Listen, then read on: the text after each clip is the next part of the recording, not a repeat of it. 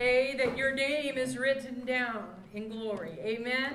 I love that old stuff we used to sing. I like the new.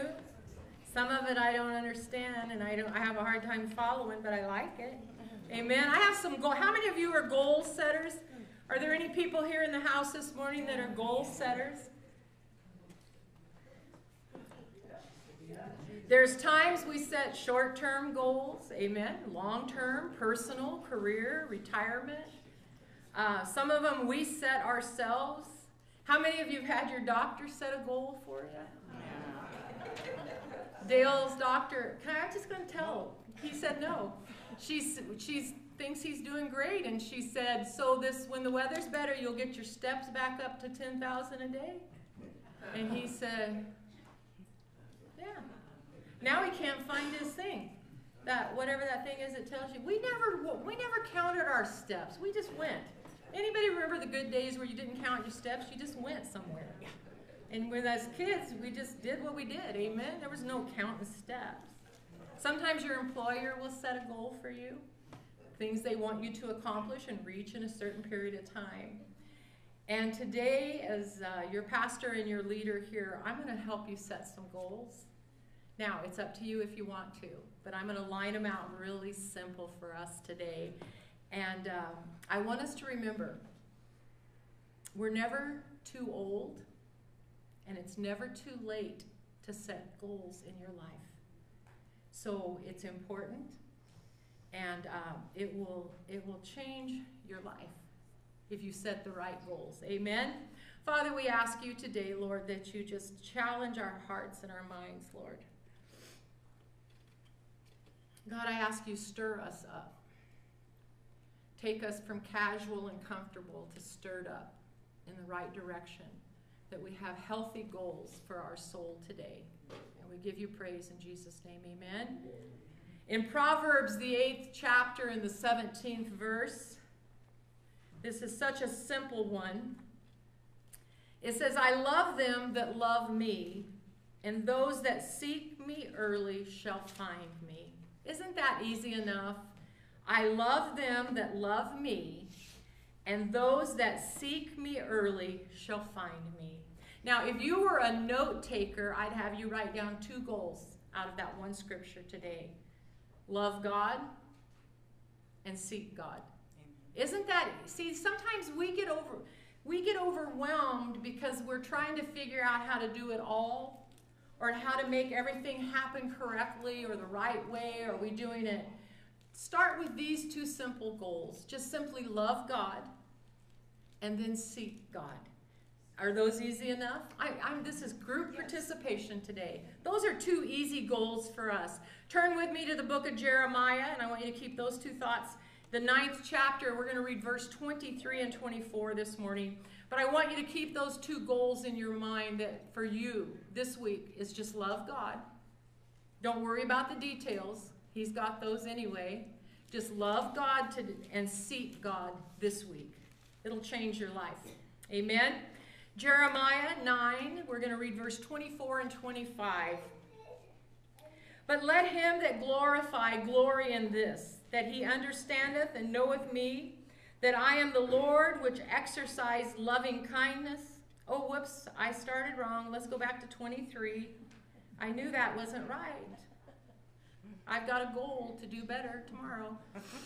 Today, right now. Verse 23 Thus saith the Lord, Let not the wise man glory in his wisdom, neither let the mighty man glory in his might. Let not the rich man glory in his riches, but let him that glorieth glory in this, that he understandeth and knoweth me, that I am the Lord which exercise loving kindness, judgment, and righteousness in the earth.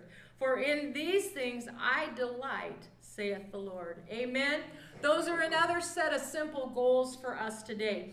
We don't want to glory in the things that we accomplish ourselves. We don't want to glory, it says, in our own wisdom. I put a little thing, and I don't care if you follow Facebook or you don't, but it stuck, struck me funny. It said, for the guy that thinks he knows it all, who's ever, how's he to ever know he doesn't know it all? Does that make sense? For the guy that thinks they know it all, how, who's going to tell them? No one. That just made me smile this morning, so. But we don't want to glory in our wisdom this morning. We don't want to glory in our own strength. And we don't want to glory in our riches. We want to glory only in Jesus Christ. Only. Let him that glorieth do this, he understandeth and knoweth me, that I am the Lord which exercise loving kindness, judgment, and righteousness in the earth. For in these things I delight, saith the Lord. So we don't want to get carried away in verse 23, glorying in anything that's not appropriate or anything that would not please God. Our highest priority and our highest goal that I want to set for you today. I don't know if you like me setting your goals. If you don't, tell me afterwards, would you? And we'll visit. But I'm going to do it anyway today because I'm up here and you're out there. my highest goal for you, my highest priority for you, each, every individual in this house, is that you know God that you live a life that reflects His character.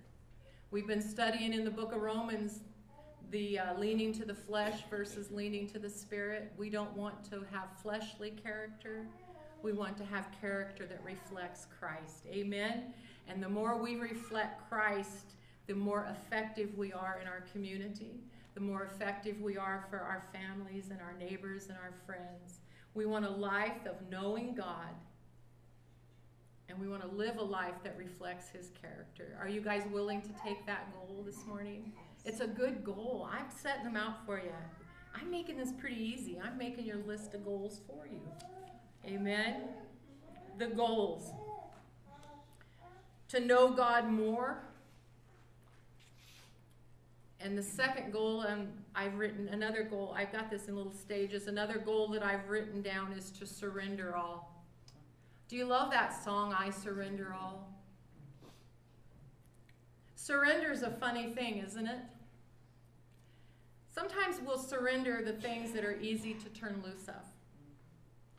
But the hard things or the things that are hidden deep in our heart, we'll kind of just latch onto them and we'll hang on to them, and you're not going to fool God. You will not fool God with the things that you're holding on to in your heart. But I want to reach a position of surrender all. There's many times, and I'm far from perfect, and when I share my experiences with you, I'm far from perfect. I don't walk perfectly. I have my moments.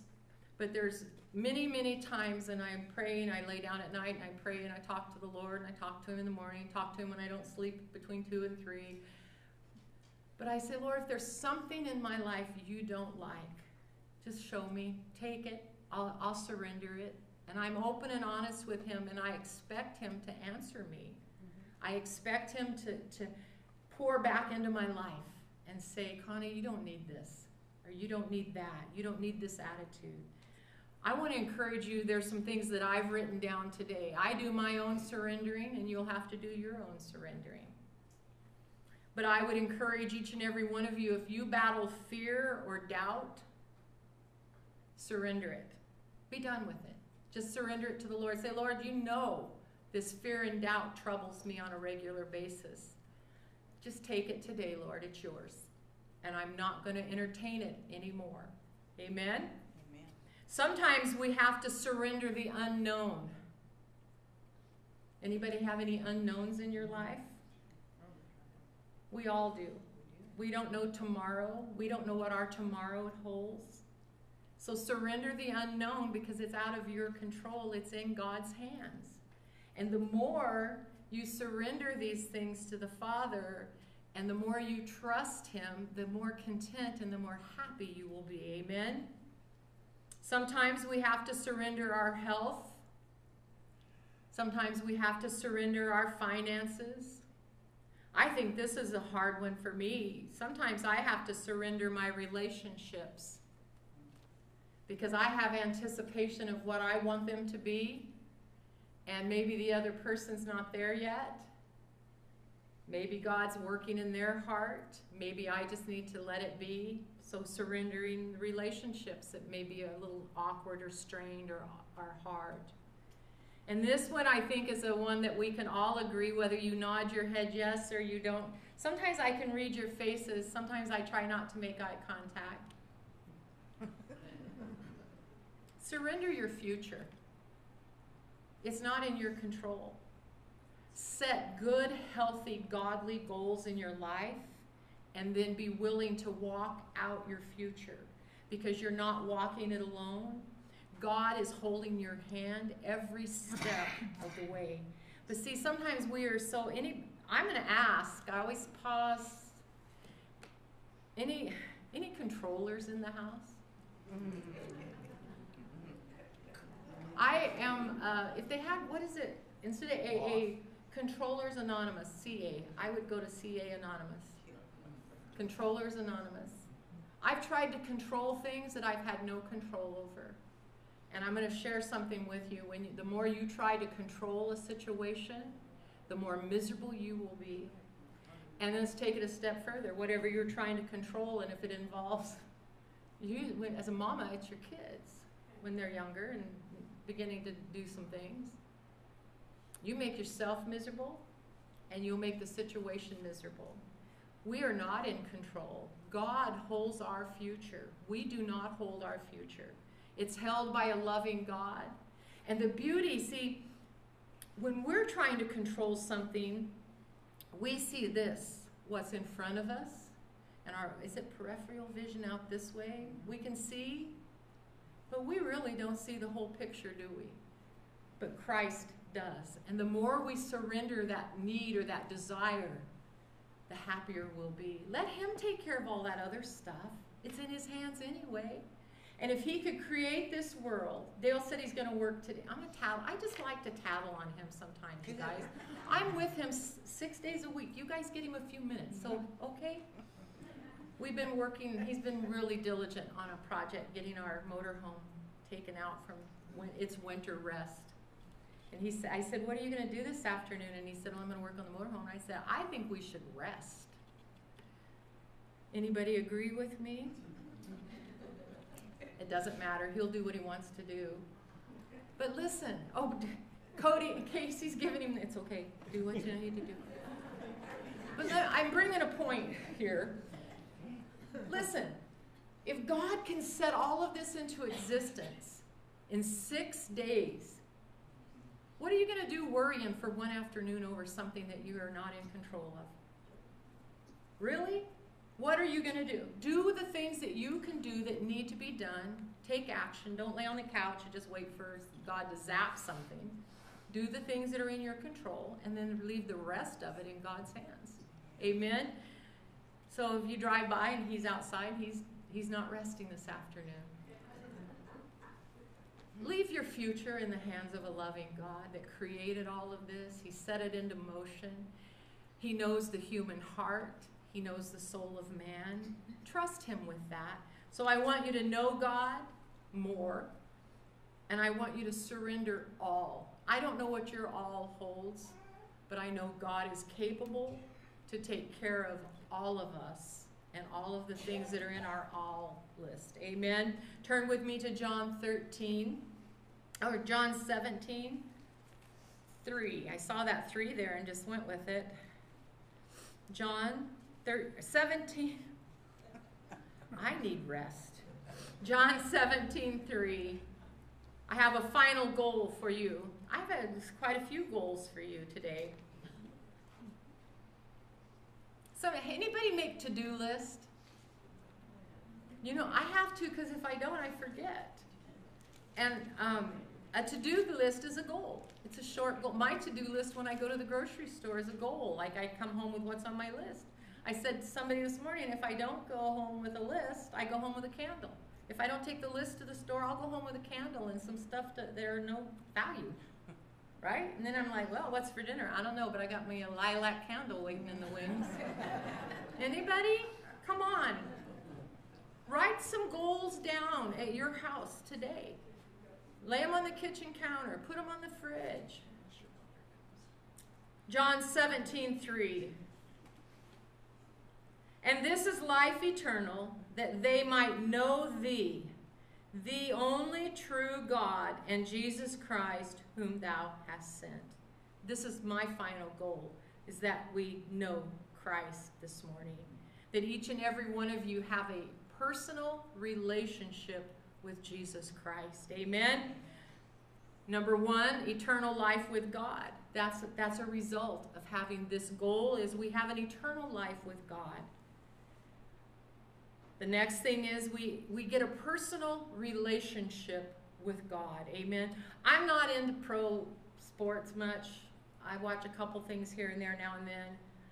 But the chances of having a personal relationship with a pro athlete are pretty slim. And most of them I wouldn't want a personal relationship with. Just calling it like I see it. But to have a personal relationship with the Father, there's room for all of us. Not just a couple, three of us here get to have that relationship. But each and every one of us is responsible for our relationship with the Father. So we get a personal relationship. There's an importance in this goal of relationship with Christ this morning is that we repent of our sins. Amen? And I don't know how you roll, but let me tell you, sin will raise its head up in your life.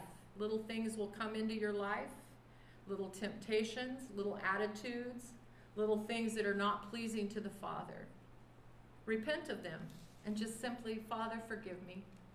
Forgive me. And then when you've repented of your sin, turn away from your sin. Amen.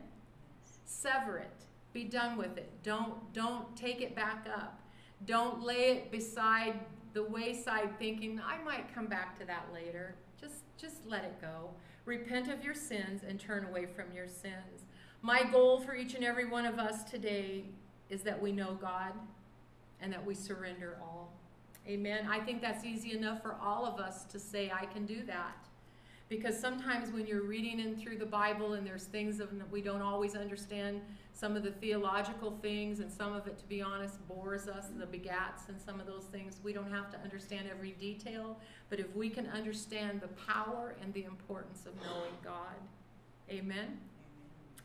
I'll tell you, when you can establish these day to day goals in your life, you're going to enjoy a life with Christ. And the Holy Spirit dwells in you. He dwells in each and every one of us and it will position you to enjoy a life in Jesus Christ.